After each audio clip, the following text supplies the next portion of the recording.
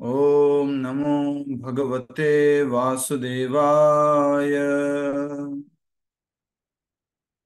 ओम नमो भगवते वासुदेवाय। ओम नमो भगवते वासुदेवाय।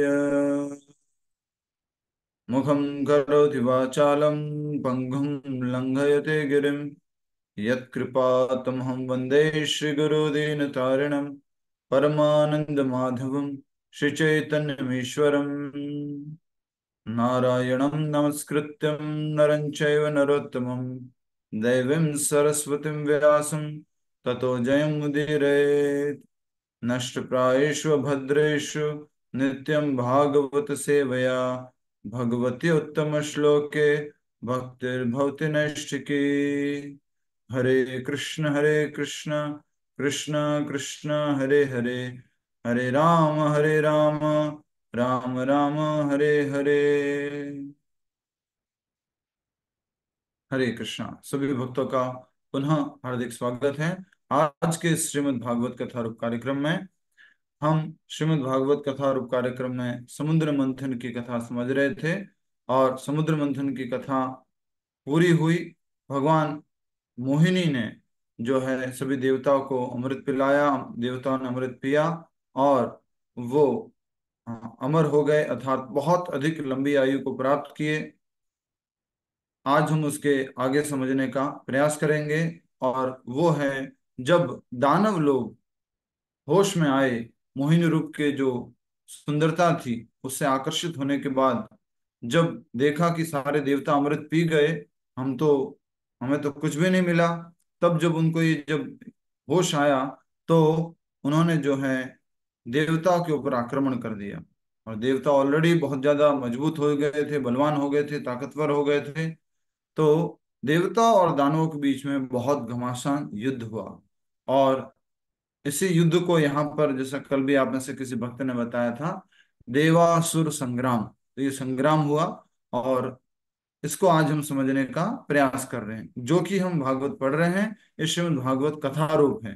कथारूप होने के कारण यहाँ पर हर एक वस्तु को संक्षिप्त में प्रस्तुत किया गया है। कृपया करके अपनी अपनी श्रीमद भागवत कथा रूप ये जो है, वो खोल लीजिए। आप में से कुछ नए भक्त हैं जिनके पास ये किताब नहीं है तो ये किताब होनी चाहिए आपके पास। ये किताब, ये ग्रंथ, ये भागवत कथा रूप ग्रंथ आपके पास होनी चाहिए। नहीं है तो मंगवा लीजिए, हमसे संपर्क कीजिए, हम मदद करेंगे। और अभी जिनके पास है, वो सब भक्त लोग, ये जो हमने कल कथा की थी, उसके बाद आज आगे जो हमें समझना था, वो हम करने का प्रयास करेंगे।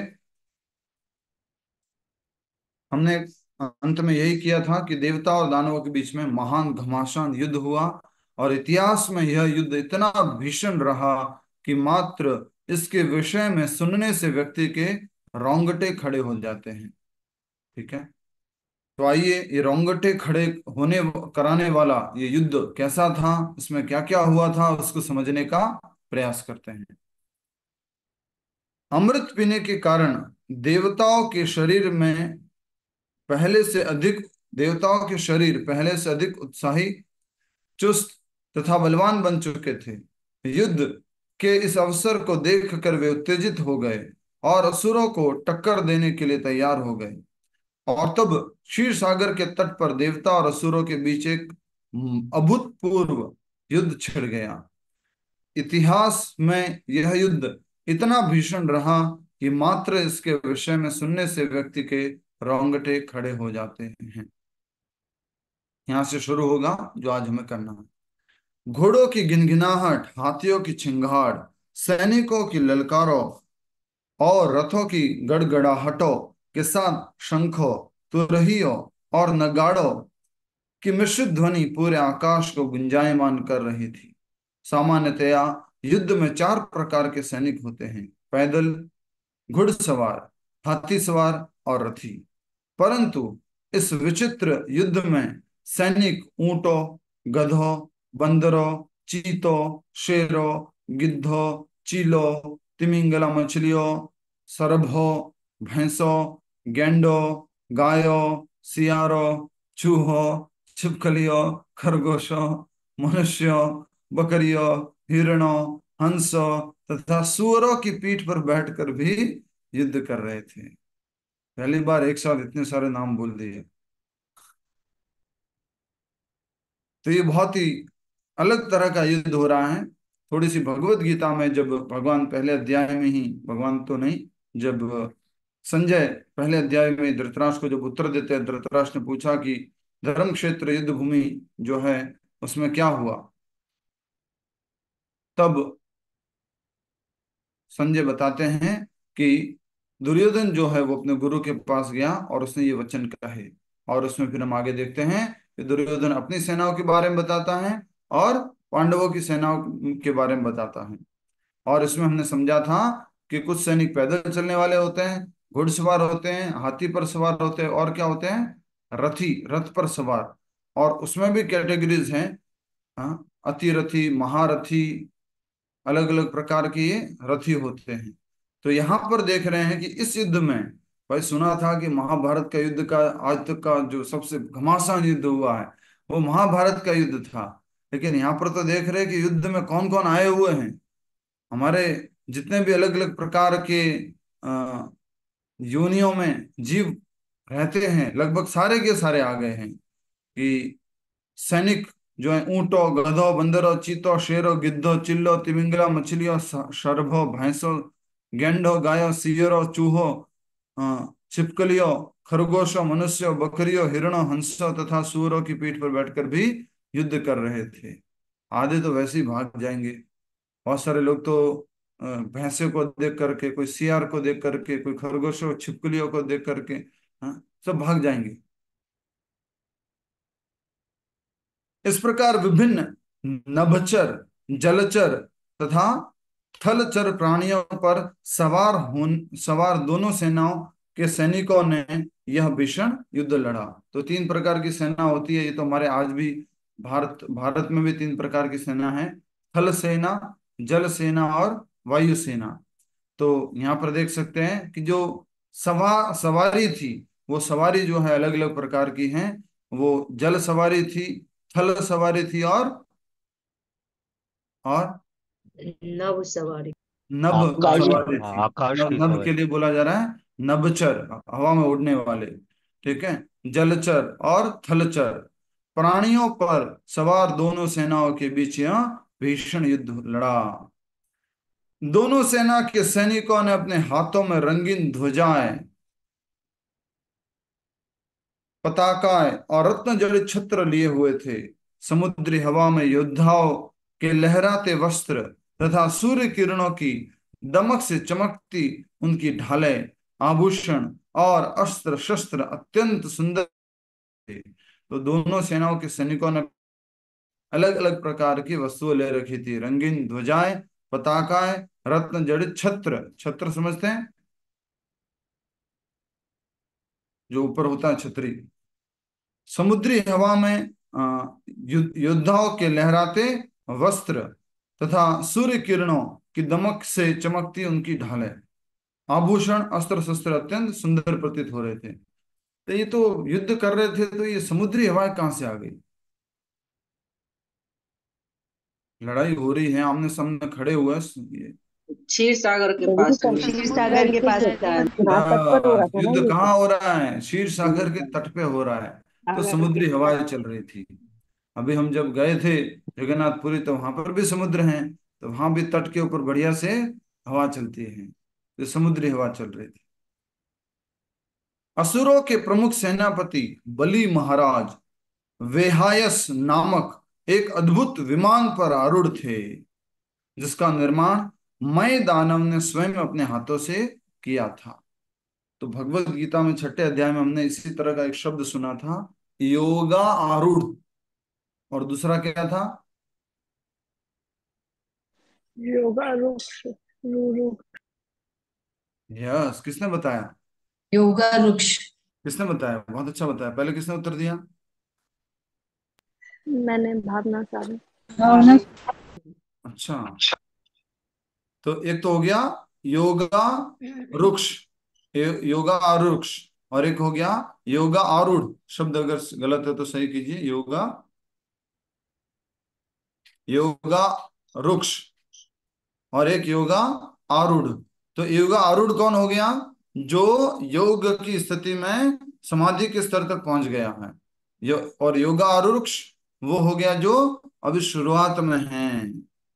तो उसी प्रकार यहाँ पर देख रहे हैं हम कि जो बलि महाराज थे वो किस पे थे? आरूढ़ एक विमान पर। उस विमान का नाम भी दिया गया है।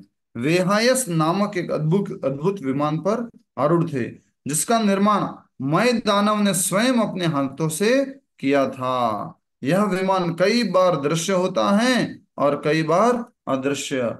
बलि महाराज के चारों ओर असुरों के अन्य सेनापति भी अपने रथों पर सवार थे। ठीक है? कठोर परिश्रम के बाद उन्हें अमृत की एक बूंद तक नहीं मिली। क्या कठोर परिश्रम किया था? दानवों ने उर्मिल माता जी बताएँगे। उर्मिल माता जी क्या कठोर परिश्रम? हाँ।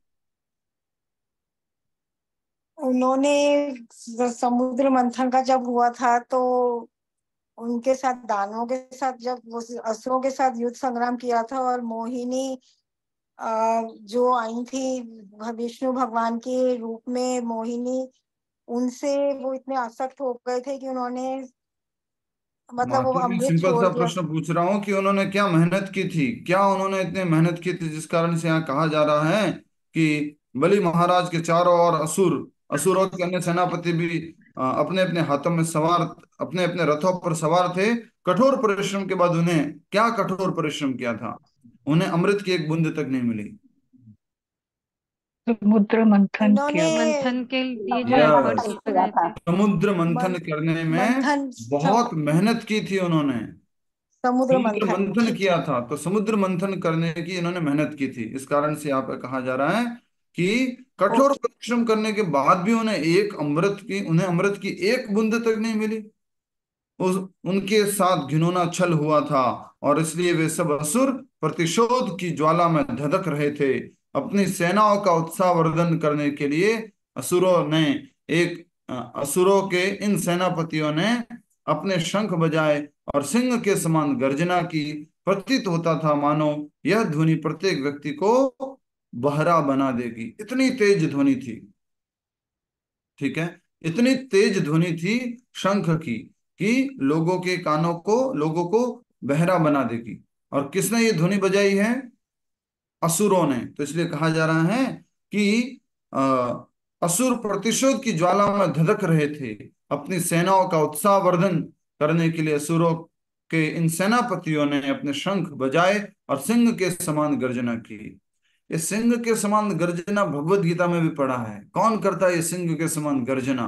किसके सिंह को सिंह के समान गर्जना से कंपेयर किया गया था? कोई भी बता सकता है। भीष्म पितामह ने जब शंख बजाया भीष्म पितामह ने जब शंख बजाया था तो उसके शंख उनके शंख को तुलना की गई थी। सिंह की गर्जना सा शंख बजाया और उससे दुर्योधन का वो उत्साहवर्धन कर, कर रहे थे। दुर्योधन को वो प्रसन्न करना चाह रहे थे। यस रुचिका माता जी। कुछ कहना चाह रहे हैं?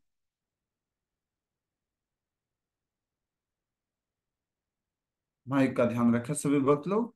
धन्यवाद। तो सिंह सी की गर्जना जो है वो विष्णु पितामह के शंख से भी हुई थी। बाद में फिर पांडवों ने अपने शंख बजाए थे और उसमें एक शब्द उपयोग हुआ था कि जब कौरवों ने भी शंख बजाए पांडवों ने भी शंख बजाए तो ध्वनि कैसी हुई थी? ध्वनि कैसी हुई थी? कोलाहल। कोलाहल। पूर्ण कोलाहल। कोलाहलपूर्ण ध्वनि हुई थी। इसलिए यहाँ पर भी हम देख रहे हैं कि दानवों और देवताओं के मध्य युद्ध में जब दानवों ने क्रोधावश अपने जो सैनिक थे सेनाएँ थी उनका उत्साह वर्धन करने के लिए जब शंख बजाए ये बहुत ही तेज ध्वनि से थे और सिंह सी गर्जना करने वाले थे। प्रतीत होता था, मानो वह ध्वनि प्रत्येक व्यक्ति को बहरा बना देगी।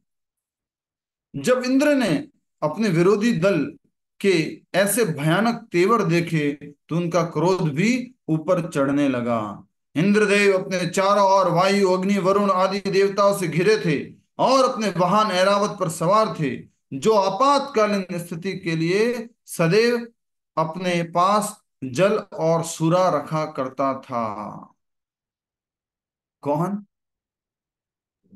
हाथी रावत रावत हम्म ऐरावत जो है आपातकालीन स्थिति के लिए जल तो समझ में आ रहा है सूरा रखा करता था। ये क्यों भाई आपातकालीन में सूरा क्यों चाहिए? प्रभु जी स्ट्रेंथ स्ट्रेंथ ज्ञान स्ट्रेंथ लेने के लिए। अच्छा जी ये बात है। प्रभु जी मदिरा नहीं है ये मदिरा नहीं नशे वाली सुरा नहीं है। अच्छा अच्छा अच्छा देवताओं की जो होती है वो स्ट्रेंथ के लिए होती है। अच्छा अच्छा और असुरों की सुरा जो होती है वो होती है मतलब शराब उन्मत्त करने के लिए। ठीक बात बात। तो ऐसी वाली सुरा तो सब भक्त लोग भी पी सकते हैं भोग लगा के। थोड़ी ताकत आ जाएगी। ठीक है। नहीं प्रभु जी एक जगह इसी भागवतम में वर्णन है कि जो सुरा है उसको हम गलत उसमें लेते हैं अर्थ में कि मदिरा के रूप में लेते हैं। हरे कृष्ण ठीक है। तो यस देवता लोग भी नशा करते थे इसमें कोई डाउट नहीं है। लेकिन आ, इस तरह से जो देवताओं के लिए जो सोमरस बोला गया है वो सोमरस क्या है? उनके शरीर को शक्ति प्रदान करने वाली टॉनिक है। उनके शरीर में बल प्रदान करती है जिससे कि वो अधिक भोग कर सके अधिक समय तक वो जी सके। तो ये जो ऐरावत थे, उनके लिए कहा गया कि वो आपातकालीन स्थिति के लिए सदैव जल और सूरा रखा करते थे। एक प्रकार से कह सकते हैं हीलिंग मेडिसिन है उस टाइम जो ये ऐरावत रखते थे युद्ध भूमि में। जैसे जैसे देवता और दानवों की सेनाएँ निकट आने लगी, अत्यंत क्रोधित होने के कारण वे एक दूसरे को हृदय भेदी कठोर शब्दों से संबोधित करने लगे। युद्ध आरंभ हो गया। सबसे पहले शंख बजे ध्वनि कोलाहलपूर्ण हुई बहुत तेज सिंह जैसी गर्जना सी ध्वनि हुई और एक जो देवता थे दानव थे बहुत क्रोधित थे एक दूसरे की तरफ़ आ रहे थे और पास में आने से पहले और क्या किया उन्होंने? अपनी साधारण भाषा में बोलेंगे तो क्या किया उन्होंने? गाली गलौज। गाली गलौज। उल्टा सुल्टा एक दूसरे को बोला हाँ। कठोर शब्दों से संबोधित करने लगे। देवता लोग अब तो क्या है उन्होंने पी लिया है। अमृत तो एकदम से तेज़ी से बोल सकते हैं हाँ? तुम असुर लोग, मूर्ख लोग, कुछ भी बोल सकते हैं। वो और असुर लोग हैं, वो भी गुस्से में बोल सकते हैं। क्या बोल सकते हैं? तुम चोर हो, तुम चालक हो, तुमने चालाकी की हमारे सामने। तो एक दूसरे से ये कठोर शब्द बोल रहे हैं।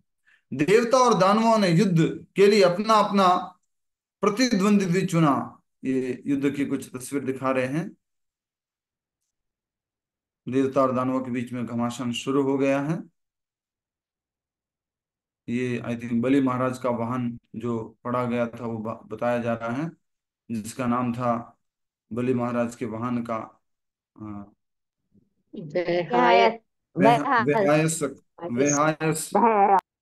ठीक है वही हायस विमान हरे कृष्णा धन्यवाद। माइक का ध्यान रखे और समय बचेगा। जब इंद्र ने अपने सॉरी हो गया ये तो आपस में इन्होंने बहुत घमासान युद्ध होना शुरू हो गया है और देवता और दानवों ने युद्ध के लिए अपना अपना प्रतिद्वंद्वी चुना और युद्ध करने लगे। इंद्र बलि महाराज के साथ कार्तिकेय तारक के साथ, वरुण देव, हेती के साथ, मित्र प्रत्यही के साथ, यमराज, कालनाभ के साथ, विश्वकर्मा माय दानव के साथ तथा त्वष्टा, शंबर के साथ युद्ध करने लगे। अलग अलग देवता जो थे, जो इंद्र के साथ में थे, वो अलग अलग असुरों से युद्ध करने लगे। अपना अपना जो है, युद्ध करने वाला अपोजिशन जो है, ढूंढ लिया है। जैसे भीम जो है, वो किसको ढूंढता था? महाभारत के युद्ध में। दुर्योधन। दुर्योधन गदाधारी गदाधारी के साथ धनुर्धारी धनुर्धारी के साथ। तो इस प्रकार अपने अपने प्रतिद्वंद्वी के साथ में युद्ध करने लगे। तो जहाँ एक बहुत ही सरलता से हमें समझ में आता है वो है मय दानव और विश्वकर्मा। विश्वकर्मा वो देवताओं के आर्किटेक्ट हैं। देवताओं के कुछ न कुछ अलग अलग प्रकार के वस्तुएँ बनाने वाले हैं। उसी प्रकार मय मय दानव किसके लिए बनाता है? असुरों के लिए। तो ये आपस में युद्ध प्रतिद्वंद्वी ठीक है। तो ये सब युद्ध शुरू हो चुका है। इंद्र बलि महाराज के साथ कार्तिकेय तारक के साथ वरुण देव हेती के साथ, मित्र प्रत्यही के साथ, यमराज कालनाभ के साथ और विश्वकर्मा मय दानव के साथ त्वष्टा शंबर के साथ। अपराजित नमुची के साथ युद्ध कर रहे थे और अश्विनी कुमार वृषपर्वा के साथ। सूर्यदेव का सामना बलि महाराज के 100 पुत्रों के साथ हुआ, जो बाणासुर के नेतृत्व में युद्ध कर रहे थे। चंद्रमा का युद्ध राहु के साथ हुआ। भौतिक शक्ति की मूर्ति मती देवी दुर्गा देवी, जो भद्रकाली के नाम से विख्यात हैं, शुंभ और निशुंभ के साथ युद्ध करने लगी। आरती में सुना है ना? यस प्रभु जी सुनो। क्या बोलते हैं? शुंभ निशुंभ शुंभ निशुंभ विदारे।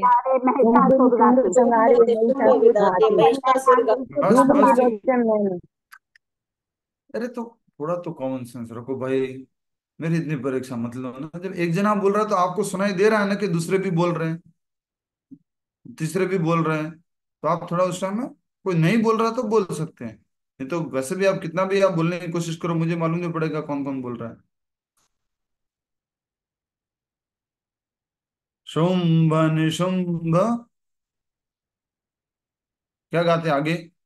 शुंभ निशुंभ ओके मिथिलेश माता जी बताएँगे और कुछ नहीं बोलेंगे उनको बहुत इच्छा है बोलने की बोलो। बोलो माता जी महसासुर निशुम बिडारे महसासुर घाती झुंड बिलोचन नैना निर्जन मधुमाती। क्या बात हरी बोल। तो महिषासुर को मानने वाले शुंभ निशुंभ को मानने वाले ये जो हैं यहाँ पर बहुत अच्छा शब्द उपयोग हुआ है कि भौतिक शक्ति की मूर्तिमती देवी दुर्गा देवी। तो भौतिक शक्ति की जो अ, स्वामिनी है अधिष्ठाता देवी है वो है दुर्गा देवी। और वो किनकी शक्ति है? किनकी शक्ति है? काली। कृष्ण भगवान की बहिरंगा शक्ति भगवान इसलिए की पार कर पाना बहुत मुश्किल है। अलग अलग शास्त्रों में अलग अलग वर्णन दिया गया है कि भगवान की दासी है लेकिन ये भगवान की दासी है। इतनी शक्तिशाली इसलिए भगवान कह रहे हैं देवी है ऐसा गुणमयी मम माया मेरी माया है। पार करना बहुत मुश्किल है। तो कैसे पार करेंगे भगवान की शक्ति को? कैसे पार करेंगे? बोलो। भगवान के शरण भगवान की भक्ति में जाके। यस पूर्विका माता जी को सौ में से सौ हरि नंबर नाम से हम्म, भगवान कोई शरणागति हाँ? माम एव ये प्रपद्यन्ते जब आप मुझे शरणागत होंगे तब इस भौतिक शक्ति को पार कर सकते सकते हो ये भौतिक शक्ति कितनी पावरफुल है देखो कि उन्होंने जो भद्रकाली के नाम से भी विख्यात है शुंभ निशुंभ के साथ युद्ध कर रही थी तो शुंभ निशुंभ को मारा महिषासुर को मारा। बहुत सारे बड़े बड़े असुरों को मारने वाली ये शक्ति हम तो देखते ही वैसे ही खत्म हो जाएँगे और होते भी हैं जब वो अपना कौन सा रूप लेती है महाकाली भद्र काली काली रूप। अरे वो तो भयानक रूप है। काली का रूप। वो एक सुंदर रूप भी जब लेती है ना तुम वैसे ही खत्म हो जाते घायल हो जाते। इसलिए तो बोलते हैं वो किसी ने बोला ना रक्त मांस हड्डी के ढेर पर मड़ा हुआ है छाम देख इसी की सुंदरता को हो गई नींद हराम। कि माया तेरी बहुत कठिन है राम। रक्त मांस हड्डी के ढेर पर मढ़ा हुआ है चाम तो ये दुर्गा देवी जब एक सुंदर रूप लेती है ना तो उनको कुछ करने की ज़रूरत नहीं पड़ती। थोड़ा सा मुस्कुरा देगी थोड़ा सा आँखें अलग अलग प्रकार से मटका देगी खत्म। तो उसी प्रकार यहाँ पर आ, बोला जा रहा है कि शुंभ निशुंभ को मारा ये थोड़ा एक्स्ट्रा हमने चर्चा किया। शिवजी के जम शिवजी ने जंब के साथ और विभा वसु ने महिषासुर के साथ युद्ध किया। विभा वसु ने महिषासुर के साथ युद्ध किया। थोड़ा सा इसमें हम लोग अभी तो अभी भी बात किए थे कि महिषासुर को किसने मारा? दुर्गा। दुर्गा जी। दुर्गा जी दुर्गा। जी। ने दुर्गा देवी। हाँ तो यहाँ विभावसु ने महिषासुर के साथ युद्ध किया। ठीक है मैं भी शायद विभावसु जो है वो थोड़ा कमज़ोर पड़ गया होगा और बाद में दुर्गा देवी ने हेल्प किया होगा उनको। ब्रह्मा जी के पुत्रों ने इलवल और वातापी के साथ किया। कामदेव ने दुर दुर्मश दुर्मर्श के साथ शनेश्चर ने नरकासुर के साथ और तथा बृहस्पति ने शुक्राचार्य के साथ युद्ध किया। बृहस्पति किनके गुरु जी शुक्राचार्य जी दानवों के। निवात कवचों के साथ युद्ध में वसुगण कालकेयों के साथ विश्वदेवगण पुलोमों के साथ तथा रुद्रगण क्रोध शव के साथ। युद्ध के दौरान भूमि धड़ से कटे सिरों से पट गई। पट गई सही शब्द लिखा है। पट गई। पट में भर गई। यानी भर गई। मतलब पूरी तरह से ढक गई पूरी तरह से ढक गई। कटे से भरपूर हो गए। यस युद्ध के दौरान भूमि धड़ से अ, कटे सिरों से पट गई जो अभी तक अपनी खुली आँखों से बाहर ताक रहे थे और क्रोध से उनके दांत अभी तक भीचे थे। बहुत सारे जो सिर थे उनकी बात की जा रही है। असंख्य कटी हुई भुजाएँ इधर उधर बिखरी पड़ी थी जिनकी मुट्ठियों में अस्त्र शस्त्र अभी तक कसकर रखे हुए थे। कटी हुई टांगों, बिखरे मुकुटों और आभूषणों की कोई गिनती नहीं थी। इतना ही नहीं, असंख्य हाथी, घोड़े, रथ, सारथी और सैनिक टुकड़े टुकड़े होकर सर्वत्र फैले पड़े थे। योद्धाओं की तीव्र चालों और रथों के पहियों से उठे धूल के बादलों ने पूरे आकाश को भयानक रूप से ढक दिया था। दिशाओं की पहचान करना कठिन हो गया। परंतु जब इन बादलों पर रक्त की फुहारें पड़ती तो वे दबकर नीचे बैठ जाते। जिन योद्धाओं की गर्दन कटी, वे तुरंत भूत बन गए और उन्होंने अपने मृत शवों की आँखों से देखते हुए शत्रु के साथ युद्ध जारी रखा। भूत बनने के बाद भी युद्ध जारी रखा। और यहाँ बादलों के ऊपर रक्त की फुहारों की बात क्यों हो रही है? क्योंकि कुछ युद्ध कहाँ पर हो रहा था? हवा में हो रहा था। नभचर, जलचर और थलचर। तो इस प्रकार ये भयानक युद्ध हुआ। बलि महाराज धनुष बाण से भयानक युद्ध कर रहे थे। उन्होंने इंद्र पर दस तीर एरावत एरावत पर तीन, उसके सारथी पर एक तथा हाथी के चारों पैरों की रक्षा करने वाले चार घुड़ सवारों पर चार तीर छोड़े, परंतु इंद्र ने मुस्कुराते हुए इन सब तीरों को काट डाला, जिसे देखकर बलि महाराज का क्रोध प्रचंड अग्नि के समान धतकने लगा। उन्होंने इंद्र पर आक्रमण करने के लिए अपना शक्ति अस्त्र उठाया, परंतु इससे पहले कि वह अपने हाथ से छूटता, इंद्र ने उसके टुकड़े टुकड़े कर दिए। अंततः असुरराज बलि अदृश्य हो गए और मायावी शक्तियों की सहायता से युद्ध करने लगे। अचानक देव सैनिकों ने अपने सिरों के ऊपर विशाल का पर्वत देखा, जिस पर से अग्नि के समान जलते हुए वृक्ष नीचे गिर रहे थे। इसके तुरंत बाद नुकीले पत्थरों की बारिश आरंभ हो गई और देवताओं के सिर छत विक्षत होने लगे। तत्पश्चात बिच्छुओं बड़े बड़े नागों, सिंहों, बाघों और विशाल हाथियों की वर्षा होने लगी, जिसने सबको पीस लिया, पीस डाला। तभी वहाँ मांस भक्षी, सैकड़ों नर मादा असुर प्रकट हुए। वे पूरी तरह नग्न थे और अपने हाथों में त्रिशूल उठाए, देवताओं की ओर दौड़ते हुए चिल्ला रहे थे, काट कर टुकड़े कर दो इनके, छलनी कर दो इन्हें। इसके बाद भयानक बादल घिर आए, भीषण गड़गड़ाहट करते हुए, वे जलते हुए कोयलों की बारिश करने लगे। फिर बलि महाराज ने एक महान प्रलयकारी अग्नि का निर्माण किया और प्रचंड वायु की सहायता से वह अग्नि देवताओं को झुलसाने लगी। कुछ भी क्षणों, कुछ ही क्षणों में वहाँ एक विशाल समुद्र उमड़ आया। अचानक तूफ़ान से उसमें उठी लहरें और बवंडर चारों दिशाओं में फैलने भयंकर बाढ़ आ गई। अदृश्य असुरों की देखकर देवता अत्यंत निराश और हताश हो गए। जब देवताओं को का सामना करने का कोई मार्ग नहीं सूझा तो वे अपने अंतकरण से भगवान विष्णु पर ध्यान करने लगे। उनकी प्रार्थनाओं को सुनकर भगवान विष्णु वाहन पर आरूढ़ तक्षण उन्होंने अपने आठ में शस्त्र धारण किए हुए थे। जिस प्रकार नींद से भयानक सपने की पीड़ा से मुक्त हो जाता है। उसी से ही भगवान ने युद्ध भूमि में प्रवेश किया। उनके असुरों की जादुई क्षण में नष्ट प्रभु जी क्लियर? नहीं आ रही है आवाज़। इसके बाद भयानक बादल घिर आए। भीषण गड़गड़ाहट करते हुए वे जलते हुए कोयलों की बारिश करने लगे। तो अलग अलग प्रकार से चीज़ें हुई। क्या क्या क्या क्या हुआ था ये देखो। बहुत सुंदर बात है यहाँ पर कि सबसे पहले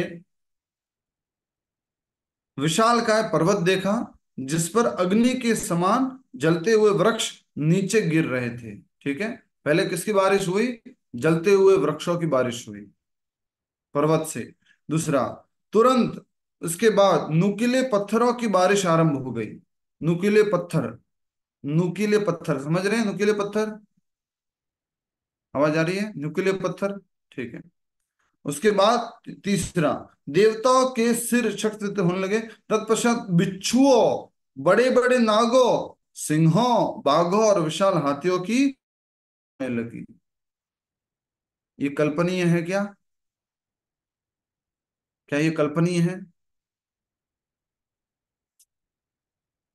नहीं है कल्पनीय कल्पना नहीं कर सकते कि बिच्छुओं की बारिश हो रही है। नागों की बारिश हो रही है। चलो ये तो छोटे मोटे थे बड़े बड़े हाथियों की बारिश हो रही है।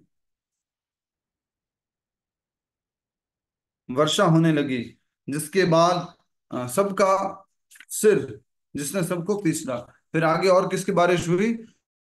मांस भक्षी असुर प्रकट हुए, नग्न थे और अपने हाथों में देवताओं की ओर दौड़ते हुए चिल्ला रहे थे काट कर टुकड़े कर दो इनके, छलनी कर दो इन्हें। इसकी बारिश हो रही है इसके बाद भयानक बादल घिर आए, भीषण गड़गड़ाहट करते हुए, वे जलते हुए कोयलों की बारिश करने लगे। बारिश हो रही है, जलते हुए कोयलों की बारिश। हमने सुना, बिजली गिरती है तो ठीक बात है। पर जलते हुए कोयलों की बारिश हो रही फिर बलि महाराज ने एक महान प्रलयकारी अग्नि का निर्माण किया और प्रचंड वायु की सहायता से वह अग्नि झुलसाने लगी। ये कैसे हुआ समझ में आ रहा है? बहुत प्रचंड अग्नि लग रही है और फिर तेज से हवा। तो वो हवा के कारण वो प्रचंड अग्नि का ताप देवताओं की तरफ़ जा रहा है, वो अग्नि देवताओं की तरफ़ जा रही है, वो झुलस रहे हैं। कुछ ही क्षणों में वहाँ एक विशाल समुद्र मुद अभी बारिश हो रही थी अलग। अब क्या आ गया वहाँ पर? समुद्र, तुरंत। भयानक तूफ़ान उठी उसमें उठी लहरें और बवंडर चारों दिशाओं में फैलने लगे। भयंकर बाढ़ आ गई। अदृश्य असुरों की इन मायावी शक्तियों को देखकर देवता अत्यंत निराश और हताश हो गए। निराश होते हैं, हताश होते हैं, परेशानी में होते हैं तो किसके पास जाते हैं? भगवान विष्णु भगवान के पास भगवान के पास। हमारे साथ भी यही है। संकट बंद रे वेंकट संकट आया तो कन्नड़ा की ये लाइन है संकट बंद रहे वेंकट रमणा गोविंदा श्रीनिवासा गोविंदा गोविंदा। संकट आने पर वेंकट को याद करते हैं। हरे कृष्ण हरे कृष्ण। आवाज़ हुई होगी बीच में? हाँ फिर कट हाँ फिर हो गई। हरे कृष्ण हरे कृष्ण हरे कृष्ण। ठीक करते हैं कुछ। ये रहा ठीक करने का। तो जब देवताओं को इन मायावी चालों का सामना करने का कोई मार्ग नहीं सूझा तो वे अपने अंतकरण से भगवान विष्णु पर ध्यान करने लगे। उनकी प्रार्थनाओं को सुनकर भगवान विष्णु अपने गरुड़ वाहन पर आरूढ़ तक्षण वहाँ उपस्थित हुए। जितना यहाँ सरलता से लिखा है ना, इतना सरल नहीं है, बट ये कथा रूप समझ रहे, इसलिए हमें थोड़ा सरल लग रहा है। ठीक है, देवताओं ने याद किया और भगवान आ गए। थोड़ी सी इसमें भी आगे लंबी चर्चा है। देवताओं की प्रार्थनाओं को सुनकर भगवान विष्णु अपने गरुड़ वाहन पर आरूढ़, तक्षण वहाँ उपस्थित हुए। उन्होंने अपने आठ, आठों हाथों में अस्त्र, शस्त्र धारण किए हुए थे। जिस प्रकार नींद से जगते ही व्यक्ति भयानक सपने की पीड़ा से मुक्त हो जा रहा है, हो जाता है। अगर किसी को सपने में बहुत भयानक कुछ सपना दिखाई दे रहा है, डरावना सपना दिखाई दे रहा है तो ममता पटेल माता जी क्या करना पड़ेगा?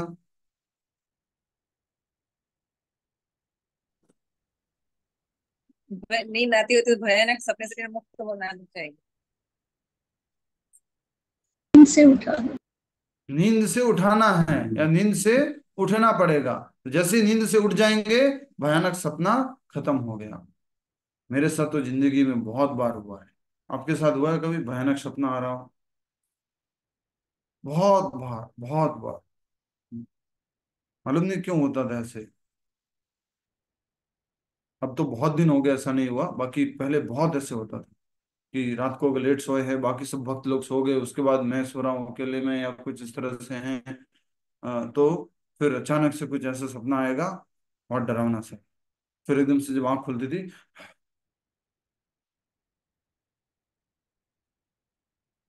तो भगवान के आने पर क्या हुआ?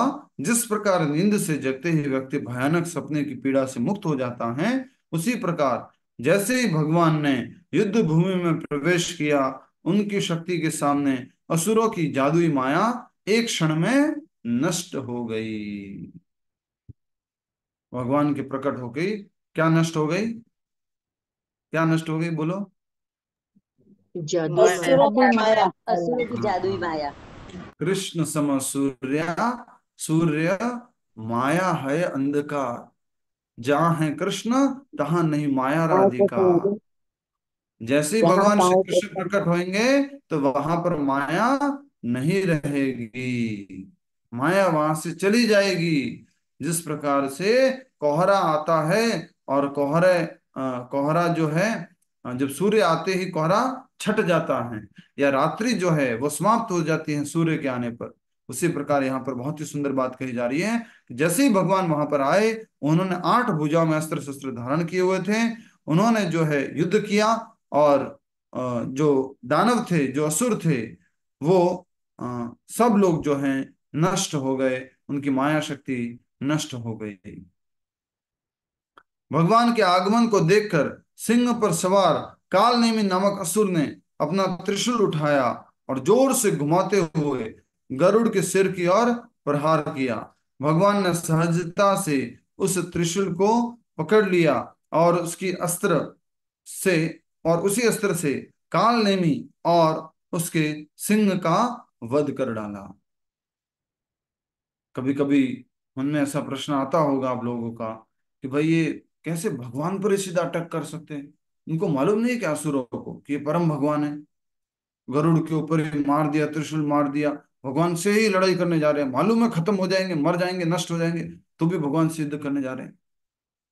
इसी असुर बुद्धि के लोग आए थे भारत पर और कई कई वर्षों पर उन्होंने कई कई वर्षों तक उन्होंने राज्य किया भारत पर और उन्होंने बहुत सारे मंदिरों को खंडित कर दिया, बहुत सारी मूर्तियों को खंडित कर दिया। उनको वहाँ पर भगवान नहीं दिखाई दे रहे थे। उसी प्रकार इन असुरों को गरुड़ के ऊपर बैठे हुए जो भगवान थे वो परम भगवान के रूप में नहीं दिख रहे थे। ये बहुत समझने की बात है कि जब हमारी बुद्धि असुर हो जाएगी हम असुर बुद्धि के हो जाएँगे तब हम भगवान को भगवान रूप में स्वीकार नहीं करते हैं।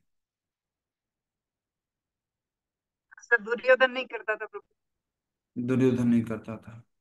कई बार विग्रह रूप में ही भगवान ने लीला की है और असुरों को मारा है। नष्ट किया है। अभी अभी हमने कहानी पढ़ी थी जड़ भरत की। और जड़ भरत को जब वो आ, जो डाकू लोग थे जो उनके बलि चढ़ाना चाह रहे थे तो भद्रकाली मूर्ति तोड़ करके प्रकट हो गई थी और सब असुरों को वध कर दिया था। ऐसी बहुत सारी गाथाएँ हैं। हम गए थे आपको याद होगा तो आ, आ, नाम भूल गया बट भगवान मदन मोहन जी थे। और हम जगह पर गए थे वो जगह याद नहीं आ रही है पूरी तरह से। बांग्लादेश बंग, बंगाल का बॉर्डर था। बांग्लादेश गए थे। तो उस समय मदन मोहन जी ने क्या किया था? जब राजा हार रहा था तो मदन मोहन जी ने क्या किया था? तोप ली तोप। थ्री सिक्सटी डिग्री सबको मार दिया आज भी ऐसा कहते हैं कि पाकिस्तान में हिंगलाज माता का मंदिर है। अभी की घटना तो मालूम नहीं, पहले अगर कोई भी कुछ भी करने जाता था, अटैक करने जाता था, कुछ भी करता था, वो मतलब उसको बाहर फेंक दिया जाता था और वो मर जाता था। इस तरह से बहुत सारे विग्रहों ने ऐसा किया है, लेकिन फिर भी हाँ जो असुर लोग हैं, वो नहीं समझते हैं और ये अभी भी यही सोचते हैं कि ये विग्रह, मूर्ति है, ये कोई भगवान नहीं है। आज का मेरा एक रियलाइजेशन था, वो इस प्रकार से था। प्रभु जी चंचलापति गुरु जी ने प्रवचन लिया था वृंदावन में। तो ये जो हमारा शास्त्र है, भगवत गीता या भागवत, थोड़ा अच्छे से समझिएगा। अगर मैं गलत कुछ बोल रहा हूँ तो आप उसमें ऐड कर सकते उसमें एक सीमित मानव जाति के लिए नहीं बोला है। भगवत गीता और भागवत में एक सीमित धर्म वालों के लिए या सीमित मानव जाति के लिए नहीं बोला है। अब नेक्स्ट चलते हैं हम कुरान की तरफ़। कुरान में मात्र और मात्र और मात्र एक सीमित दायरे वाले लोगों के लिए बोला है। स्पेसिफिकली जो बोले, इस नाम से जाने जाते हैं। ऐसे लोग जो होते हैं, उनके लिए यह ग्रंथ हुआ। उसी तरह से बाइबल ओनली एंड ओनली उसी तरह के, उसी सीमित दायरे वाले लोगों के लिए ये ग्रंथ, ये बाइबल जो है, ये पुस्तक है। संपूर्ण मानव जाति के लिए नहीं है। कुरान संपूर्ण मानव जाति के लिए नहीं है। लेकिन अगर हम भगवत गीता और भागवत आदि ग्रंथों की बात करें तो ये संपूर्ण मानव जाति के लिए है। क्योंकि भगवत गीता में या भागवत में आपको कहीं पर हिंदू शब्द नहीं मिलेगा, लेकिन आपको बाइबल में क्रिश्चियन शब्द मिलेगा क्रिश्चियनिटी शब्द मिलेगा और कुरान में आपको आ, आ, क्या कहेंगे इसको मुस्लिम शब्द मिलेगा और इस्लामिक शब्द मिलेगा। अगर इसमें कुछ लॉजिकल त्रुटि हो तो बता सकते हैं।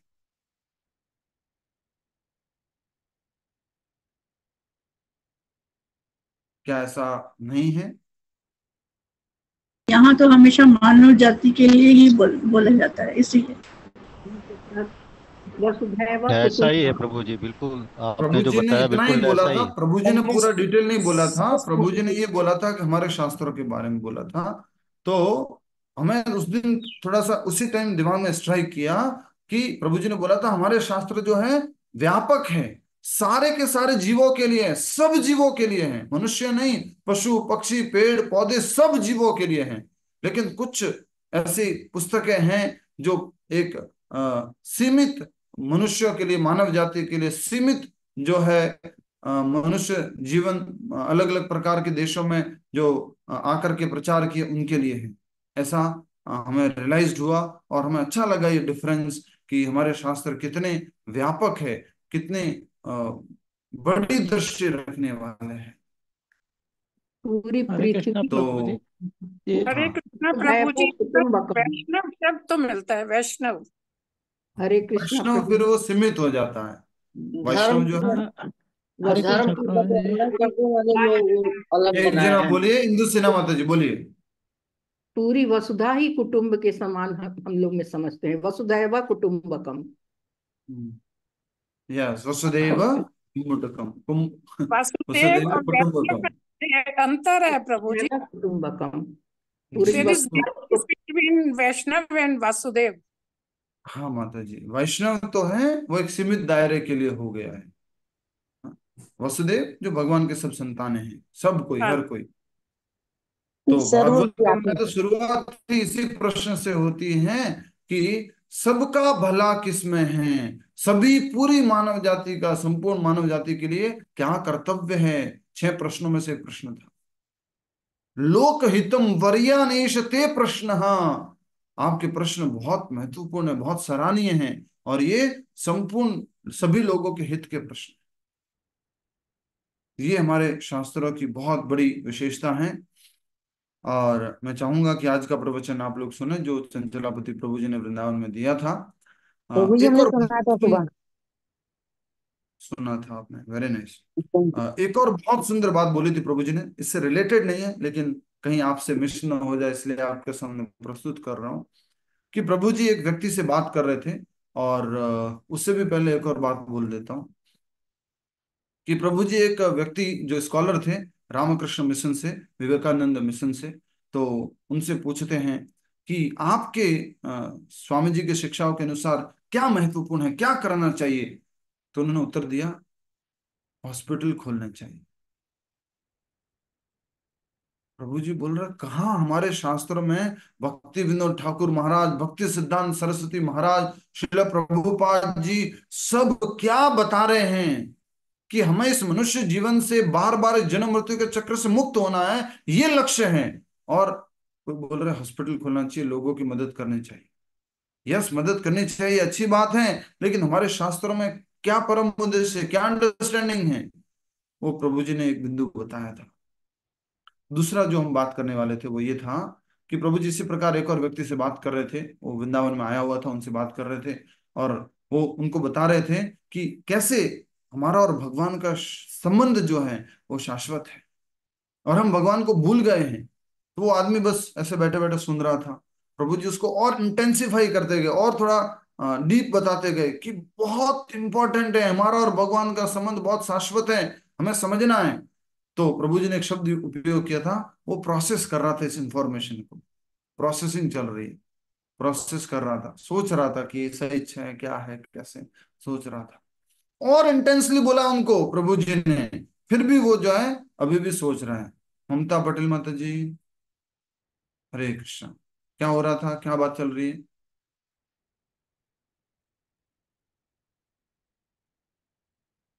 क्या बात चल रही है माइक बंद है आपका।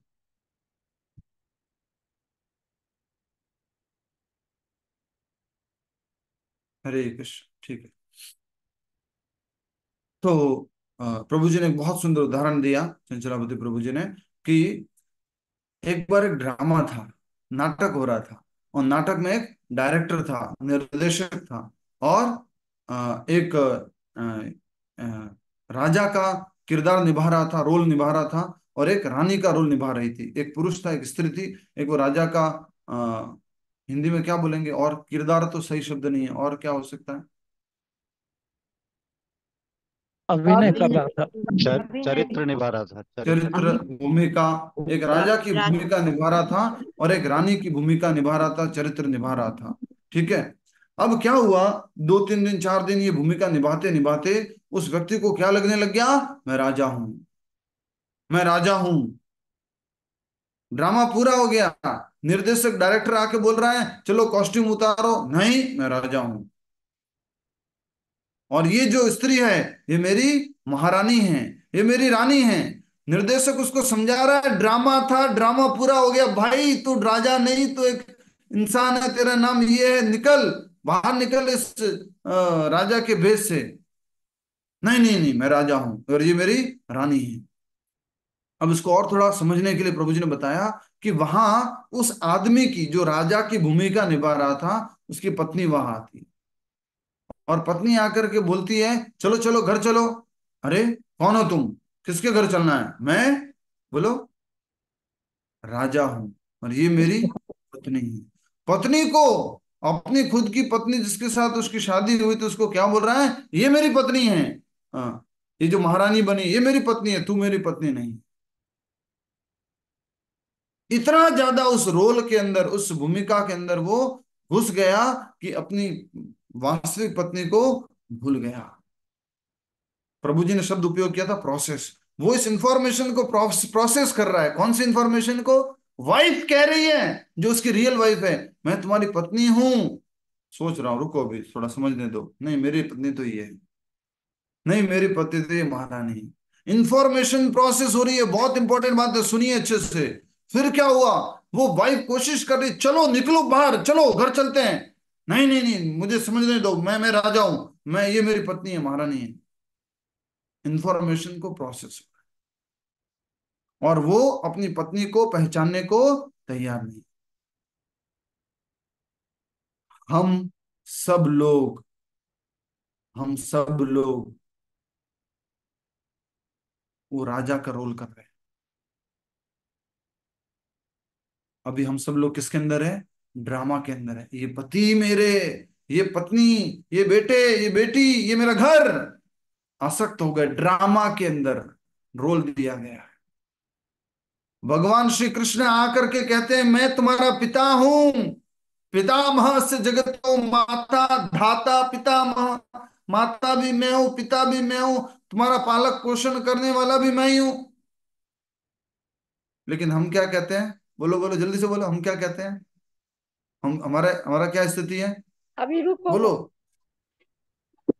हम स्वयं को इंफॉर्मेशन इंफॉर्मेशन इंफॉर्मेशन प्रोसेस हो। रही है। प्रोसेसिंग हो रही है अभी। ठीक है भगवान ने कहा है लेकिन आ, मुझे तो लगता है यही मेरे पति है यही मेरी पत्नी है यही मेरे पिता है यही मेरे माता है। ये ठीक है कृष्ण बोल रहे भगवत गीता में ठीक। एक साल निकल गया दो साल निकल गया तीन साल निकल गया चार साल निकल गया पाँच साल निकल गया। भगवान बोले चल मैं तेरा पिता हूँ मैं तुम्हारा बीज प्रदा पिता हूँ सर्व योनिशु कौन थे सारी योनियों का बीज प्रदा पिता मैं हूँ मैं तुम्हारा पिता हूँ। तू इस उस मोह से बाहर निकल। अभी भी हम क्या कह रहे हैं? नहीं नहीं, नहीं। थोड़ा थोड़ा और अच्छे से समझना है वास्तव में क्या सत्य है? नहीं मुझे लगता है यही मेरे माता पिता है मेरे यही बच्चे हैं। समझ में आ रहा? कितना अच्छा बात बोला प्रभु जी ने। कितने लोगों को समझ में आया? सुशील जी हमें इतने टाइम से कहा जा। रहा है कृष्ण कह रहे हैं प्रभुपाद जी कह रहे हैं कि कृष्ण कह रहे हैं मैं तुम्हारा पिता हूँ। प्रभुपाद जी कह रहे हैं कि कृष्ण तुम्हारे पिता है। लेकिन अब अब अभी भी हम क्या कर रहे हैं उस इंफॉर्मेशन को? प्रोसेस कर रहे हैं। टाइम लग रहा है स्वीकार करने में। टाइम लग रहा है। ये हम सब लोगों की स्थिति है। ड्रामा में हम आसक्त हो गए हैं। पहले तो अपने ही रोल से बहुत आसक्त है। यस और नो पहले तो अपने ही रोल से बहुत आसक्त है। ये जो मुकुटा पहन रखा है, ये अलग अलग प्रकार के बाल जो हमने लगा रखे हैं अलग अलग उसके वस्त्र पहन रखे हैं। पहले तो इसी से बहुत आसक्त है। नहीं, मैं यही हूँ, मैं यही हूँ, मैं यही हूँ, फिर इससे संबंधित जो शरीर है, उससे हम आसक्त हो रखे हैं। कि मैं, ये मेरी पत्नी है, ये मेरे पति हैं, ये मेरे बच्चे हैं, यही मेरे संबंधी हैं। भगवान आकर के बोल रहे हैं, प्रभुपाद जी आकर के बोल रहे चलो चलो, यहाँ से निकलो बाहर, ड्रामा पूरा हो गया, निकलो, समझो, भगवान तुम्हारा असली पिता है, असली पति है असली स्वामी है, असली माता है। प्रोसेसिंग टाइम लगेगा। थोड़ी देर रुको। जिस प्रकार के से इंद्र के साथ हुआ था, इंद्र क्या बन गए थे? सुअर। सुअर। सुअर स्वर्गापति से स्वर्गापति से सुअरापति बन गए थे। सुअरी पति बन गए थे। और अपनी पत्नी से आसक्त हो गए। और अपने बच्चों से आसक्त हो गए। और क्या समझने लग गए? मैं सुअर। ये मेरी सुअरी और ये मेरे सुअर बच्चे। और जब ब्रह्मा जी उनको वापस बुलाने के लिए आए तो क्या हुआ? जाने को तैयार नहीं थे। वो जाने को तैयार नहीं थे क्योंकि मुझे ज़्यादा हो गई थी अपनी फैमिली से। वो किसी तरह जाने को तैयार नहीं थे। यस तो बहुत इंपॉर्टेंट है कि यहाँ पर एक किसी ने प्रश्न भेजा है will faith matter matters more than knowledge here to believe पहली बात तो जो नॉलेज ले रहे हैं, वो प्रमाणिक व्यक्ति होना चाहिए। और दूसरी बात, अगर मालूम है कि ये प्रमाणिक व्यक्ति है तो फिर हंड्रेड परसेंट विश्वास होना चाहिए। फिर उसने जो बोल दिया, वो बात माननी है और उसको प्रोसेसिंग में नहीं लगाना है। तो जब हमें विश्वास है कि प्रमाणिक व्यक्ति से मैं सुन रहा हूँ उसके बाद फिर आपको मोस्ट इंपॉर्टेंट है। वो क्या है? वो क्या है? बिलीव विश्वास।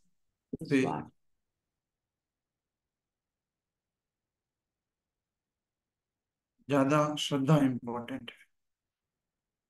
जब प्रभुपाद जी ने कुछ भी बोल दिया, एक बार जब आपको समझ में आ गया ना कि प्रभुपाद जी प्रमाणिक गुरु हैं और वो बोल दिए, वो ये बोल दिए डायरेक्टली बोल दिए तुम मूर्ख हो, महामूर्ख हो, ये है, विश्वास करना आना चाहिए फिर। फिर विश्वास हो। प्रभुपाद जी ने कुछ बोल दिया, फिर डाउट नहीं। प्रभुपाद जी ने बोल दिया कि लोग चंद्रमा पे नहीं गए तो नहीं गए।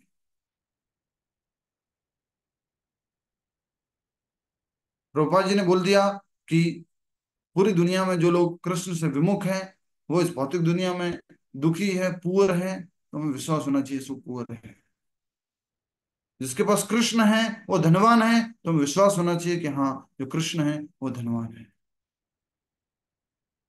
ये विश्वास होना चाहिए।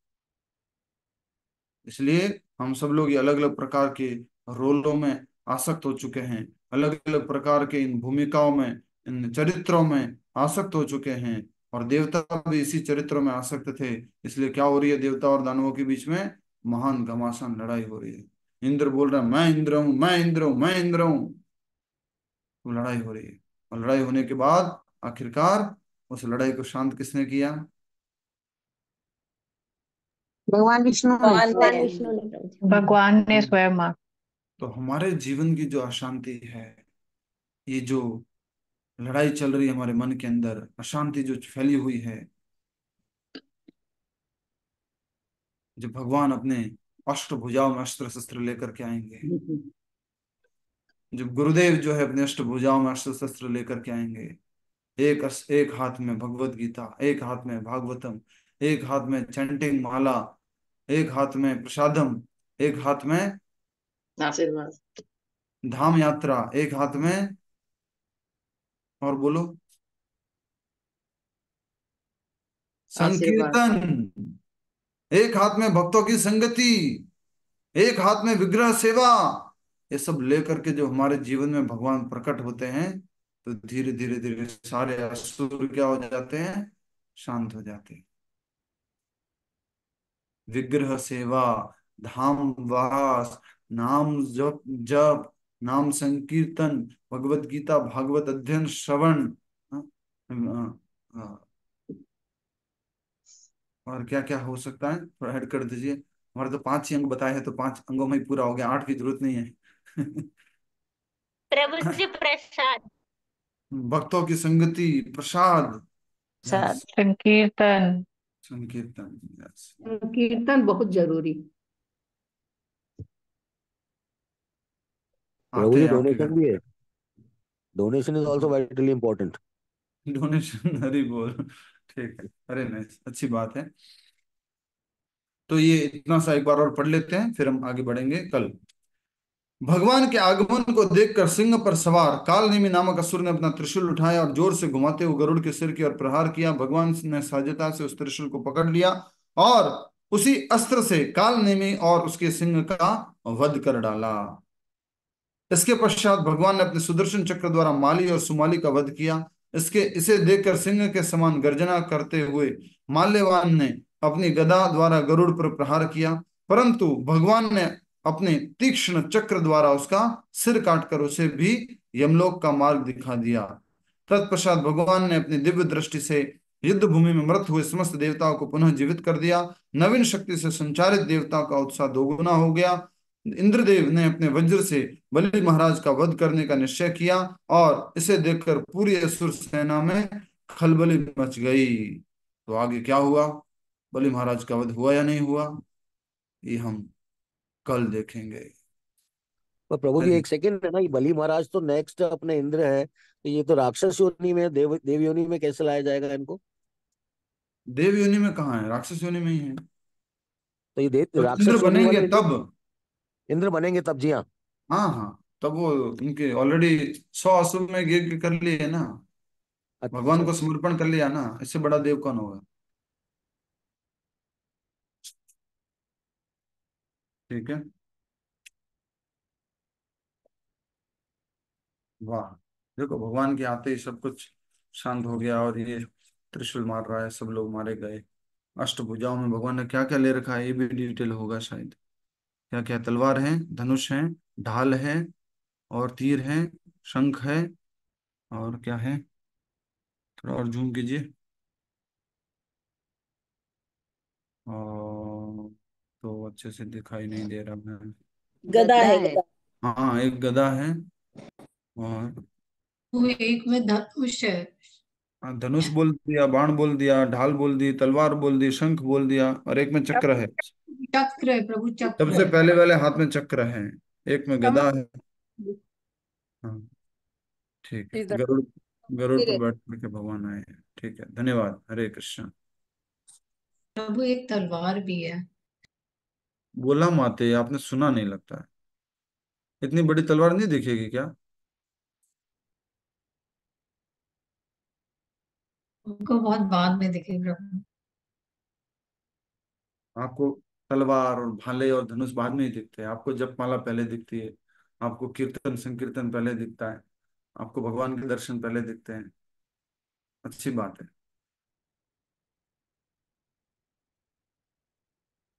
यस नाम जब करेंगे। इस इस बार 2551वीं जन्माष्टमी है, बहुत विशेष है। तो आप सब लोग बहुत धूमधाम से मनाएँ और मंदिरों में जाकर के सेवा करें अच्छे से इस कार्यक्रम को प्रचार करें। हरे कृष्ण। कोई प्रश्न कुछ कहना है? Suggestions inputs all welcome Hare Krishna प्रभु जी प्रणाम। हरे कृष्ण प्रभु जी।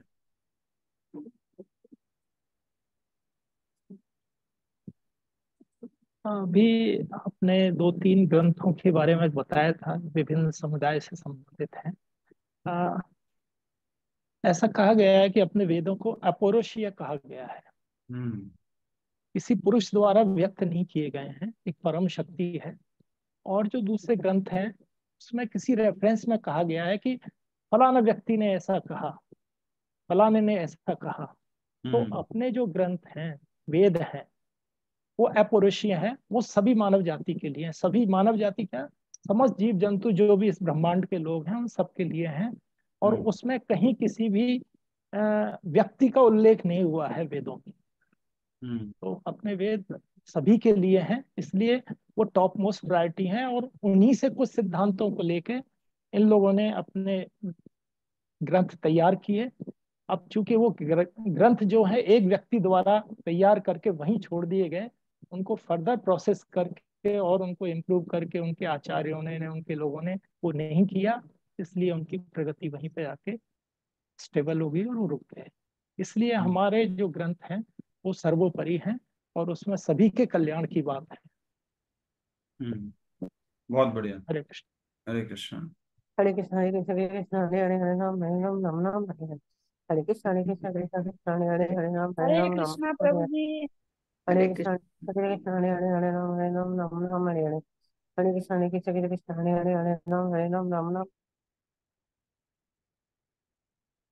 किसने म्यूट किया? मैंने किया प्रभु जी बाय मिस्टेक ओपन था। ठीक। हरे कृष्ण यस। प्रभु जी ये समुद्र मंथन में जो रत्न निकले थे वो उसी टाइम निकले थे या पहले भी मौजूद थे?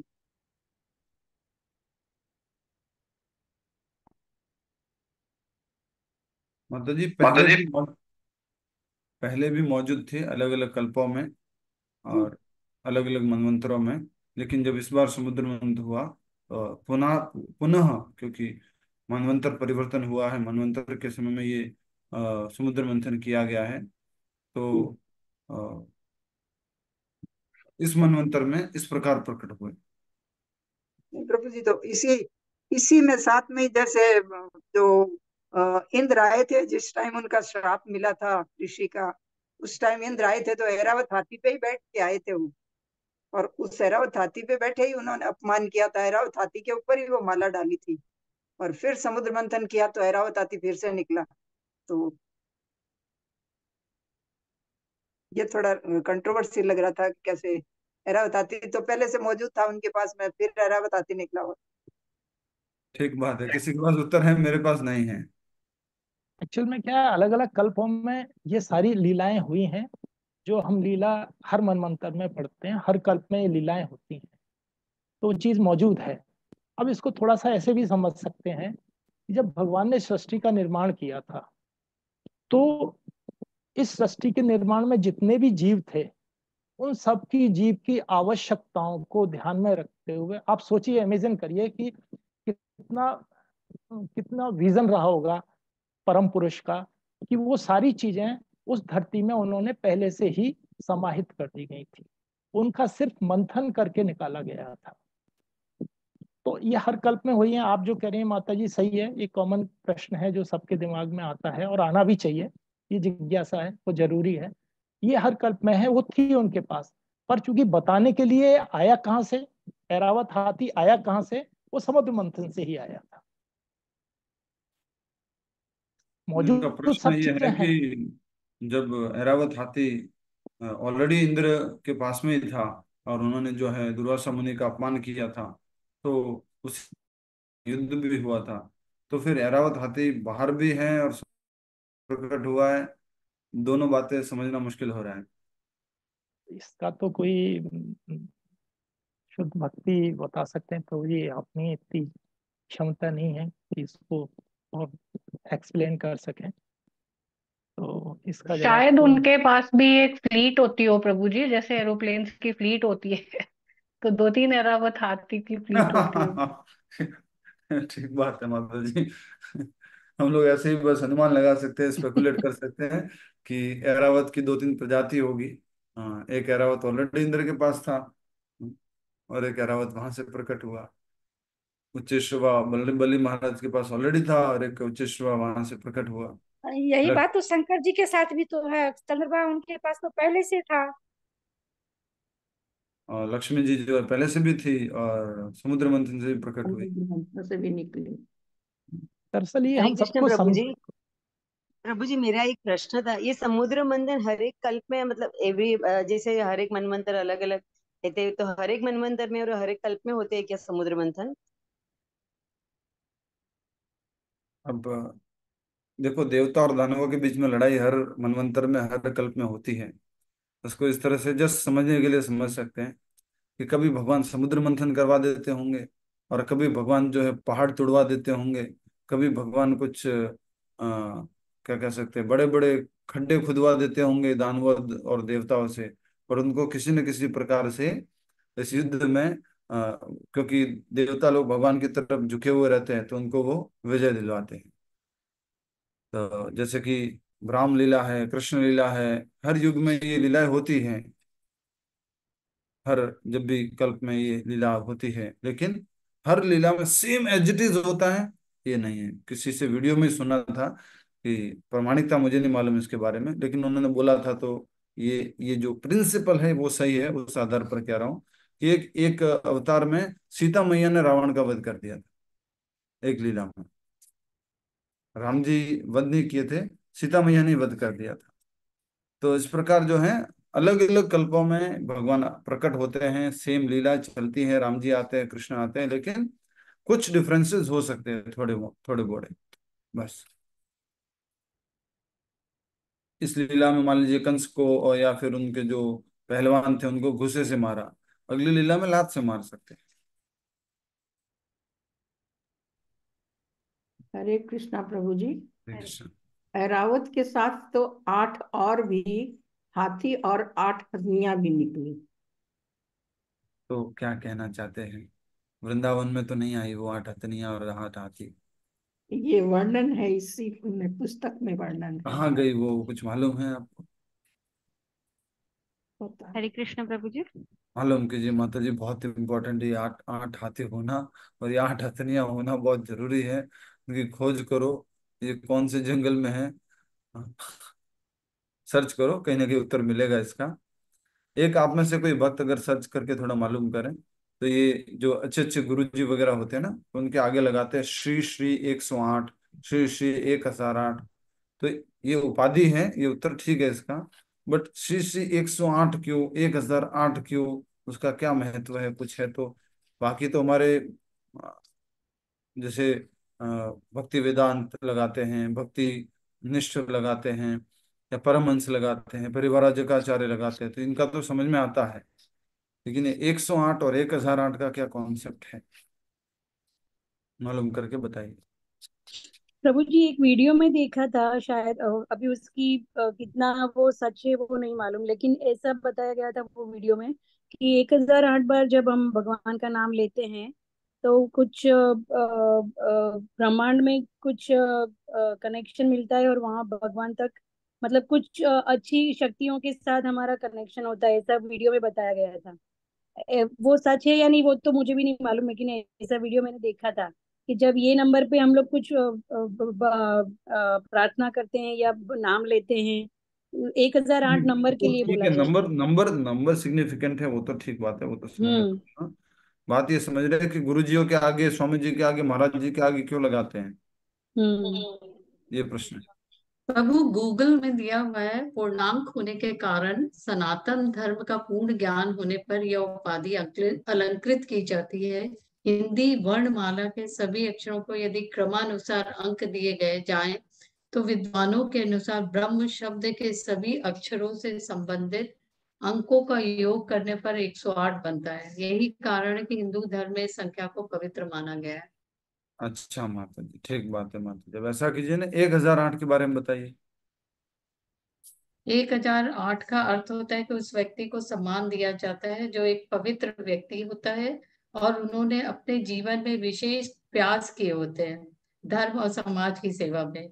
इस अभिवादन का उद्देश्य उस व्यक्ति को सम्मान देना होता है। यही अभिवादन क्यों? प्रश्न ये है। वो भी ढूंढ लेता है प्रभु। ढूंढिए। ठीक है। तो वैसे मैंने जो स्पेकुलेट किया था वो यही था कि 108 उपनिषद होते हैं तो जिनको 108 उपनिषदों का ज्ञान है, वो जो है, वो श्री श्री 108 श्री श्री 108 ऐसे करके बुलाते होंगे। बट वास्तव में क्या है मुझे नहीं मालूम।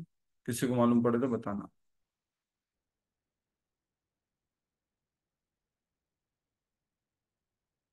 ठीक है, धन्यवाद। हरे कृष्णा। कृष्णा प्रभु जी हरे कृष्ण प्रभु जी हरे कृष्णा प्रभु हरे कृष्णा प्रभु जी